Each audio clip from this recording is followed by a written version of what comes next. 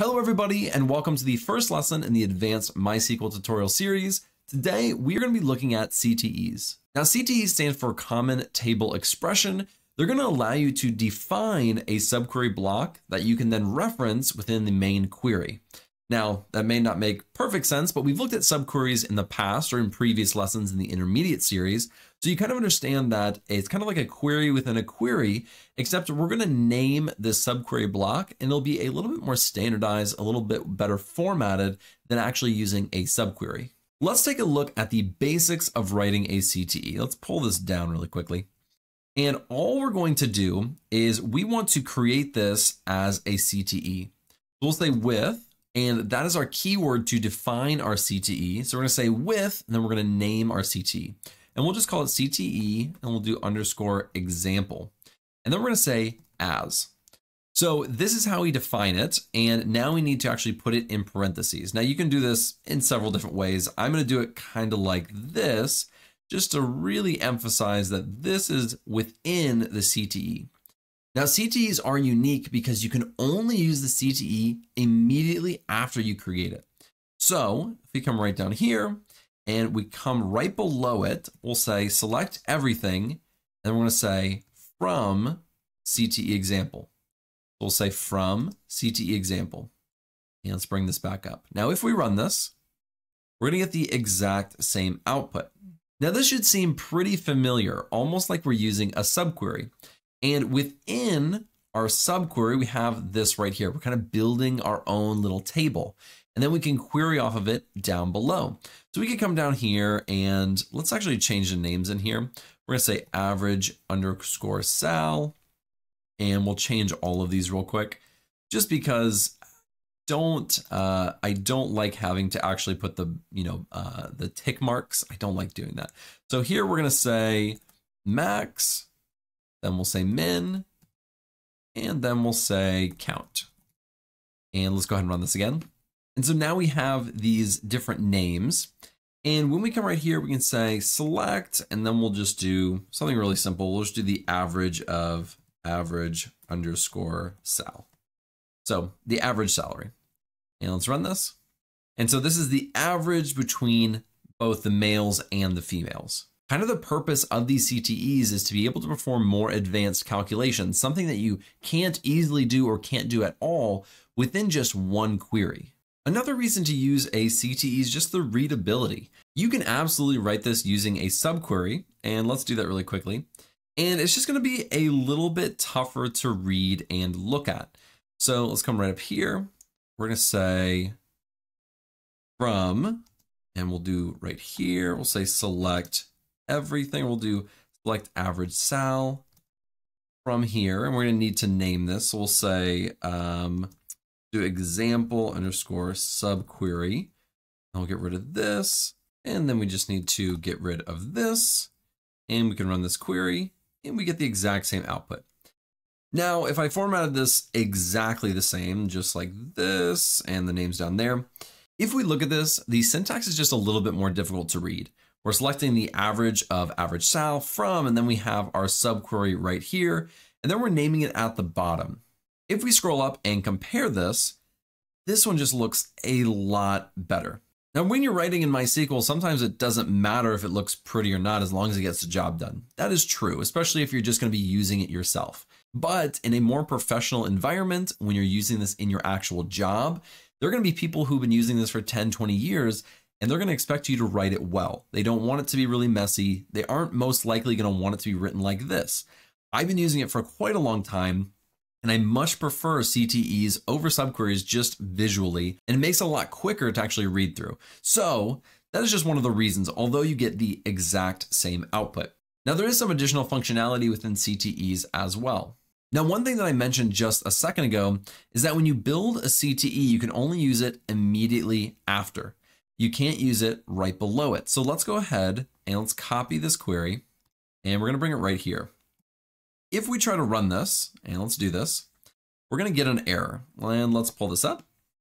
It says table parks and rec.cte example doesn't exist. So we're looking for a table called CTE example in our database, but it's not there. Now, the reason this happens is because you're creating a CTE. You're not creating a permanent object like a temp table, which we'll look at in the next lesson. And you're not creating a real table and you're not creating a view. You're really not creating anything. It's just a common table expression to create this table right here. This basically almost like a temporary table almost, but then you're just using it to query off of it. You're not saving it. You're not storing it in memory. You're not really doing anything with it. It's just like writing a regular query. So this is why you can only write it immediately after creating the CTE. You can't write it down below and reuse it because it's just like calling a query that you wrote before. It just isn't going to work. Now, the next thing that I want to take a look at, and let's copy this down here. Next thing I want to take a look at is that you can actually create multiple CTEs within just one. So if you wanted to do a more complex query, or joining more complex queries together, we can do that all within one CTE. So let's come right here. Let's get rid of all of this.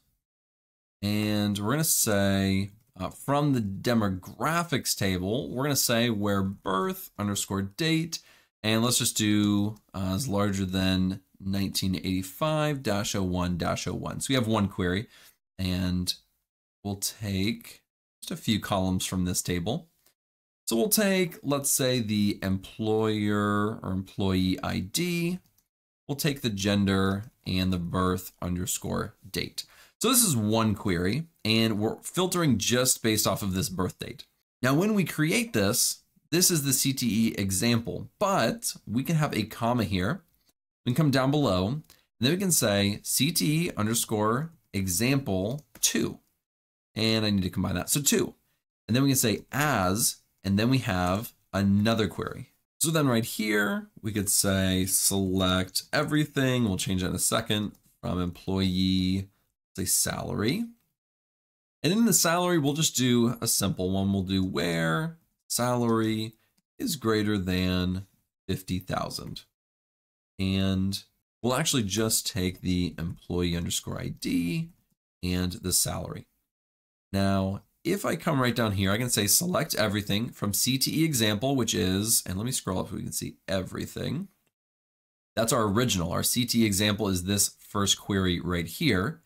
Then we're creating our second one right here, and we can join basically on these two common table expressions. So now we can say join, and then we'll do CTE underscore example two. I need to change that X. And then we'll say on, then we're just going to do CTE example dot employee underscore ID is equal to CTE example two dot employee underscore ID. And not an equal sign, but a dot. There we go. Now, if we run this, it should work. And we can pull this down and look at our output. Now, this is just an example. This isn't a real use case because, of course, we could just join these two tables together normally. But you can imagine you have a much more complex query, or you're doing a lot of functionality within this table and you just want a certain subsection of this table and you're wanting to combine those. This is how you can do that with a CTE. So now we have all of our information right here, and that can be extremely, extremely helpful. Now, one last thing that I want to show you, we're going to go all the way back up really quickly right here. Let's run this one one more time. And let's actually take everything. And let's run this. So here we have our gender, average salary, max salary, min salary, and count salary. The last thing that I want to show you, and this is more of something that's just somewhat helpful, you don't have to actually do it in your main query, is before we went in here and we changed all the column names by doing an alias, by saying as, and then saying the average salary. And the as is just implied here, but we're changing this via an alias. We don't have to do this. In fact, we could come right here and we could do a parentheses. We could call it gender. We could call it average underscore salary, max underscore salary, min underscore salary, and let's do count underscore salary. So now if we were to run this, let's change this up. We'll do capital on this one.